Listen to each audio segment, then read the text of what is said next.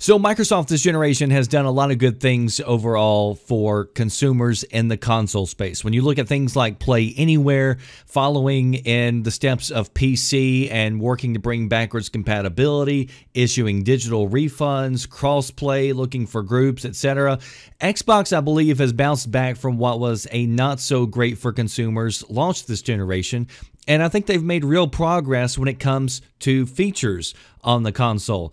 And I applaud them for these changes. But it still doesn't mean that there isn't work to do. There's always work to do. A few months ago, Phil Spencer said this on Crossplay, quote, if you bought your child an Xbox and I bought my child a PS4 and I'm just a parent, it's their birthday and the kids want to go play Fortnite and they all of a sudden go home and can't play with each other, it doesn't feel like it helps the consumers. And of course, Phil is calling out Sony big time for lack of, of crossplay. And I agree with Phil, and I've pointed out this numerous times on both Twitter and on this channel that I believe it's hypocritical of Sony to claim that they love to give developers creative freedom while at the same time handcuffing them and refusing to allow devs to implement crossplay with all the consoles. And I think Sony, for both the gamers and the devs, should allow crossplay because it helps games stay active who have lower population numbers, which benefits everybody. I mean, gamers, they don't want to sit around waiting on more people to join up in a lobby before they can play a game. And so they're not going to sit around. They're going to move on to a different game, which ends up hurting the devs. And then it also ends up hurting the gamers who enjoy that game and, and just want to play it. And, and so I think it's a huge benefit to everybody to allow crossplay. But I think we're looking at a sort of he who is without sin, let him cast the first stone type story. Because let's say this, Phil say you bought your child an Xbox and I bought my child a Nintendo and I'm just a parent, it's their birthday and their kids, they want to go play Fortnite and they all of a sudden go home and can't play with each other because one parent didn't realize that regardless of it being a free to play game, they have to pay an extra fee to Microsoft to access their internet. And that doesn't feel like it helps the consumers. Xbox is now officially the only platform in the world that requires an extra payment to play the free to play Fortnite Battle Royale. Nintendo Switch Online has confirmed that they're not going to charge for it. PlayStation doesn't charge for it.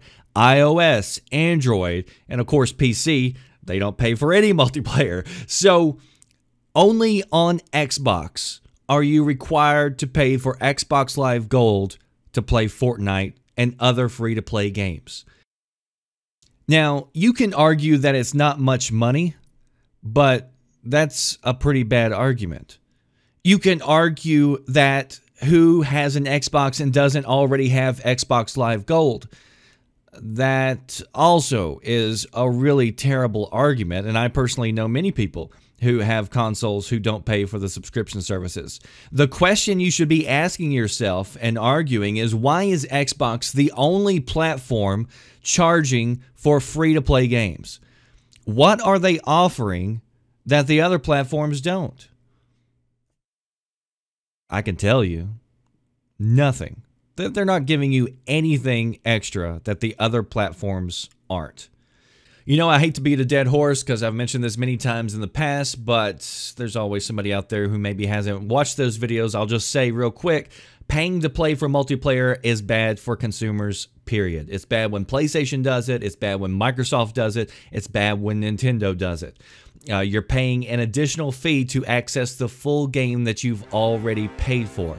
I also think that uh, I would just love to hear one journalist ask Xbox how can you ask the consumers who went out and bought your dedicated gaming machine why they have to pay for multiplayer access when you give all the same features to PC players for absolutely free? I would just like one journalist just to ask them that on the record. Uh, but that seems like a kind of hard task. But as you know, I think paying for multiplayer is bad enough. But how can anybody defend paying extra to play free to play games? There's only one platform that does it, and it's Xbox. I don't think you can defend it. And I would like to see Phil Spencer fix this issue. That is it for me, The Red Dragon. I'll see you next time. Thanks for watching.